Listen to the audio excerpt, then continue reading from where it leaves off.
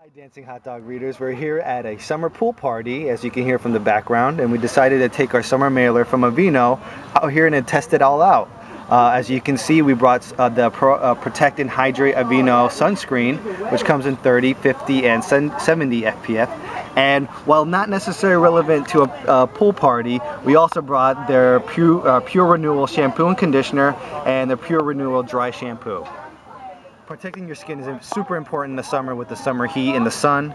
Uh, the Protect and Hydrate uh, sunscreen comes with active, uh, active natural oats, which provide 24-hour skin hydration and especially protection if you're in a pool for chlorine, either in, in the sea with salt water and sweat.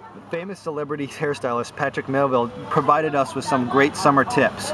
Number one, switch to a gentler shampoo and conditioner. You don't want to, you know, create too much stress for your hair.